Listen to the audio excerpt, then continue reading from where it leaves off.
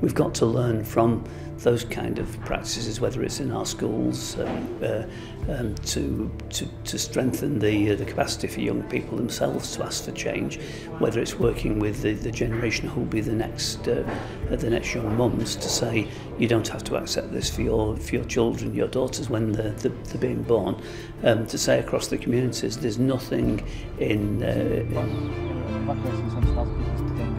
in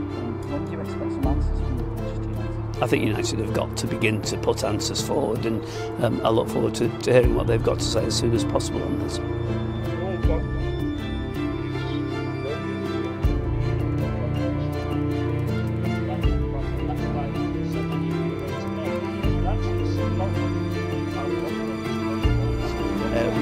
On the uh, potential no-deal Brexit, which would cost 40,000 jobs across Northern spend a little bit of money investing in this yard, making sure there's a manufacturing future